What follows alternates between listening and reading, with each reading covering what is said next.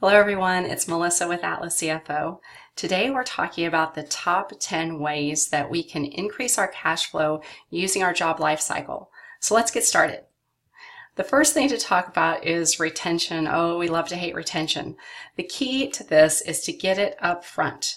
You want to put in your contract terms right in the beginning what your retention policy is. And if you don't ask, you don't get. So you can go ahead and ask for that 5% retention or how about zero retention. Hey, if it's a long-term customer and you guys have been together a while, why not ask? Next up, bill ahead. Okay, so we have a couple of billing ones. This one is billing ahead. That means look ahead a few weeks and see what costs are going to come at you and see if you can incorporate that into your current billing. Now, that always doesn't work. If you've got some ODOT contracts, many times that's not possible, but there are many contracts that it is possible. Those two to three weeks can make a big difference in your cash flow. Also looking for pre-billing opportunities.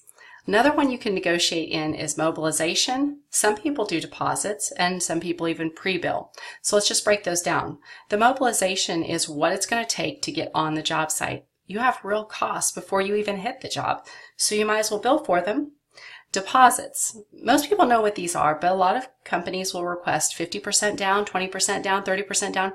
Hey, anything helps. And pre-billing. So this one comes into play if you've got a large material order or a large piece of equipment that you need to order. You can ask the customer to help you by pre-billing that amount and allowing them to pay so that you can pay the vendor and get that equipment on site. And more billing. Bill early, bill often. So billing early is about getting that bill and getting that invoice into your customers or the general contractor's hands. If they don't get it, it's really hard for them to pay it. And many times they're actually waiting for it. They have other steps that they need to do to make sure that they can get you paid. But until they have it in their hands, they can't do anything.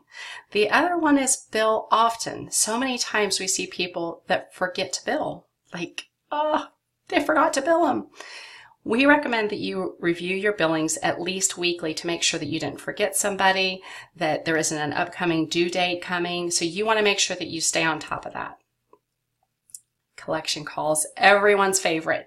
We actually have this built into our advanced cash flow class because uh, there's there's some trepidation over collection calls, but there doesn't need to be. Most of the time when you call, you get a friendly voice on the other side, especially whenever you're treating it well too. You just need to know what's going on and you're receiving collection calls and you're nice to them when they call, so give it a try. Pay when paid. So yeah, this one can be fun, but a very important piece. Our industry is seeing accounts receivable terms go longer and longer, and some of our subcontractors, we're seeing even 75 day collection terms.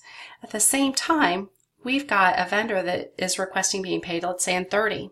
So we'll actually go through two months before we even get the money that we have already paid our vendor.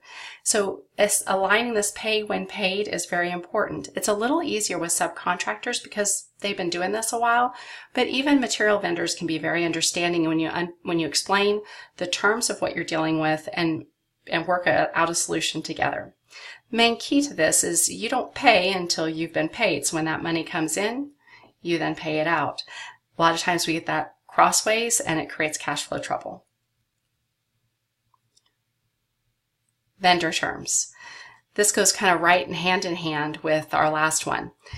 I have been amazed at how awesome our vendors were with us. They worked with us. They came up with terms that met our, our delivery dates. They kind of met terms that met with our customer terms.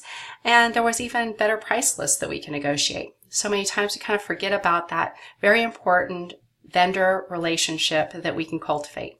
There's a win-win there, and maybe it's an early pay discount that makes it even more affordable for you to pay them early.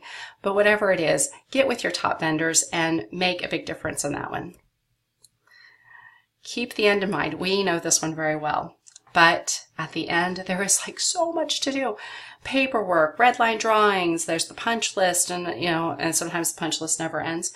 But anything that you can do to get that work done in the beginning saves you so much time in the end. And you know what that saves you?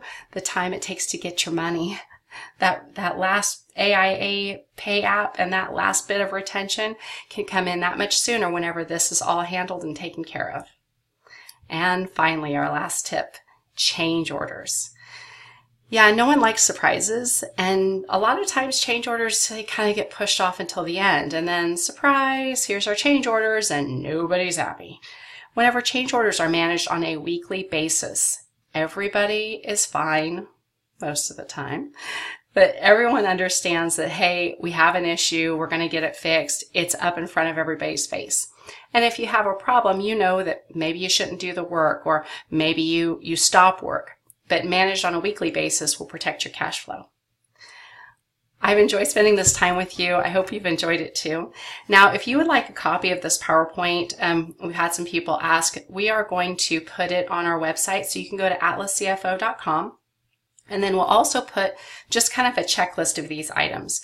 So many times some of these are things you can do and um, other ones you really need your team to help you with. So we want to make sure that this is all available so that you can use it and share it. And just go to our website and you will see a box. Click on that and we'll get it over to you. Thanks. I hope you're having a great day and we'll talk to you soon.